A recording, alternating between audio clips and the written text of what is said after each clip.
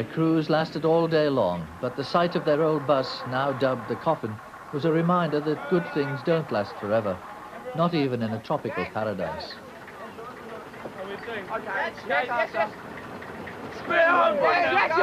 Spears 2 0.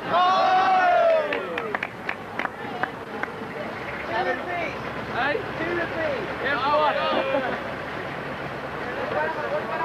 Yeah,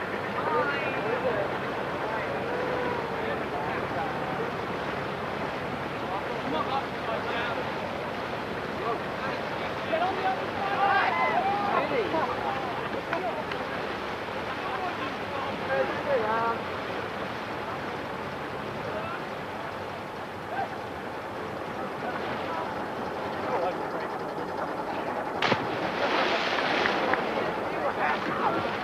oi, oi, everyone! What the heck? Get up! Is Andrew all right? James? Is Andrew all right? Yeah, he is. Right, okay.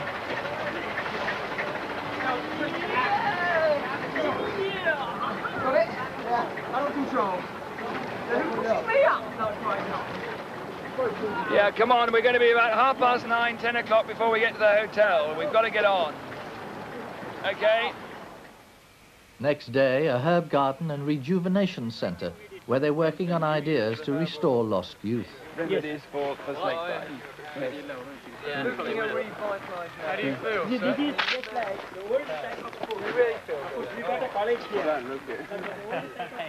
A more than generous host wanted them to see everything, from the plants they use to the factory and its steaming cauldrons.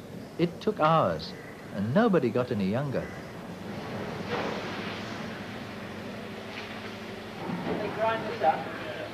The uh, herbs were also crushed and processed into oils, which were used in massages.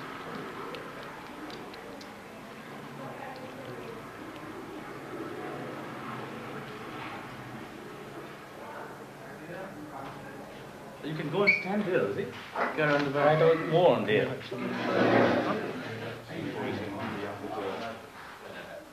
Mr. Simmons gravely needed a massage, and uh, of course, being the eldest, had one. Well, it wasn't a very pretty sight, of course. I've only got time for one. I didn't. I hadn't realised you were going to come in here for one. I hadn't realised the ladies were coming in. It was a... Do you think it'll catch on? I think it might well do.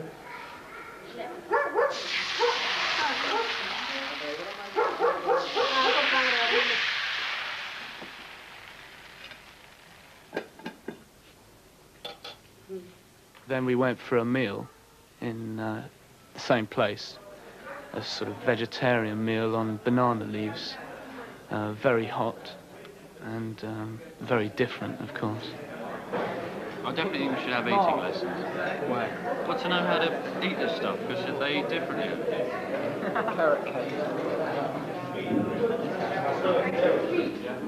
the smell of it just gives me the gives me, gives me the willies any Any of it? any any near enough. Oh, I quite honestly didn't enjoy the herb garden. I couldn't stand the smell, and it was hot and it was stuffy. But you don't like the smell of herbs? No. and we were subjected to it for a couple of hours. Is that the way you saw it, that you were subjected to it? Well, I felt that way yesterday. Perhaps the other day, looking back on it, perhaps it wasn't that bad, but I didn't enjoy the smell. And how are you making out with the food? The food's all right most of the time. We had an unusual breakfast today, Indian breakfast, which was unusual to say the least. What was there in that? I don't know. Couldn't tell you. I think some of it was heated coconut, or, but it was mainly seemed like. Well, I'd never seen it before.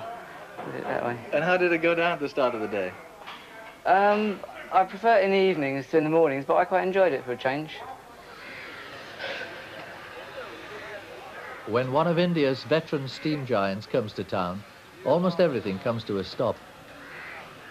But in India, there's always time to stand and stare.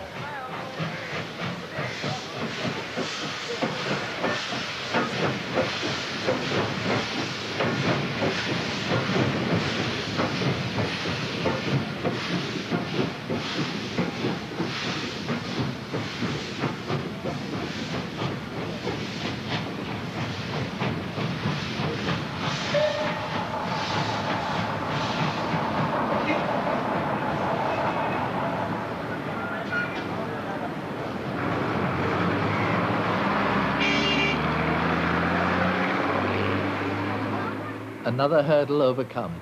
But in this land, you never know what you might meet round the corner.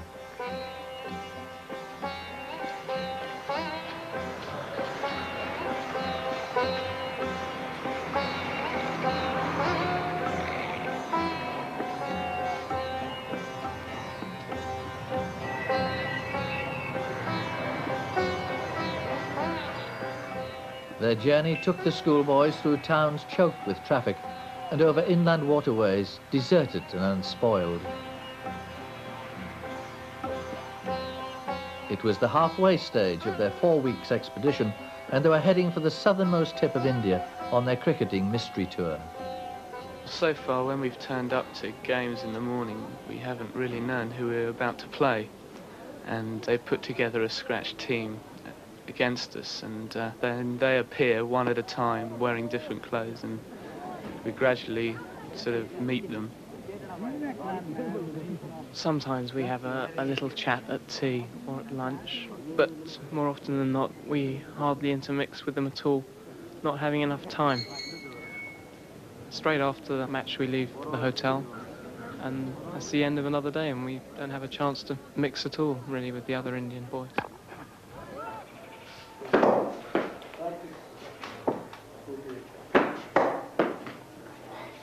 We've just finished two, two trips of 11 hours in the bus during the day, uh, which means getting up early, which doesn't please anybody on the tour.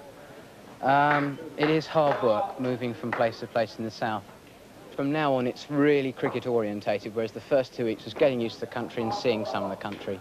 Um, I think cricket now takes over as, as the main reason for um, India.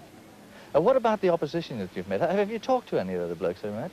It's, there's been quite a contrast, actually. Um, in Bangalore, we played the stateside, and they were very, very friendly, wished us luck before we went into bat, which you would never get in England, um, and generally very, very interesting.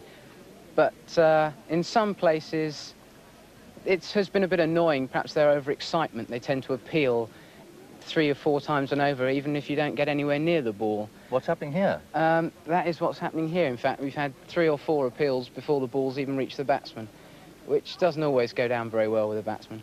And what's this about them being interested in your gear? Yes, they keep offering to buy our kits, which is, uh, we could probably make quite a killing because they can't import the gear from England through import restrictions over here, so they're very keen indeed. They'll buy anything, socks, sweatbands, anything. And are you flogging this stuff then? Uh, nobody is yet, so at the end of the tour I should think somebody might be tempted to get rid of a pair of gloves or something. Um, no one's yet um, selling any of the stuff. I don't think they really will. Martin, as, as captain of uh, Hurstpierpoint, um, big appeal, but no wickets. So that's all right. What is going to be your lasting memory of, of being here on this tour? Probably the number of people. you can't go anywhere without being followed by by 50 or 20 people, 50 or or 100 people. Um, it's really quite astounding. You go to the beach and within 10 minutes you've got the whole village literally just, just staring at you lying on the beach. I can't believe they haven't seen white people before. Um, just pure interest, I suppose, especially the children. Kovalam Beach. It stretches out of sight. What a fabulous place to spend Christmas. They're 5,000 miles from school and England's worst winter for years, but the distance makes no difference. To some, Christmas Day is Christmas Day, even out here. I'll never be able to get this done, I'll tell you that, Rob. Just tell you so. Try this. That's from Ian. Is that all you gave you? Yeah. This is from my, my, my mother and father. And you brought it with you to open out here? Yes. Why?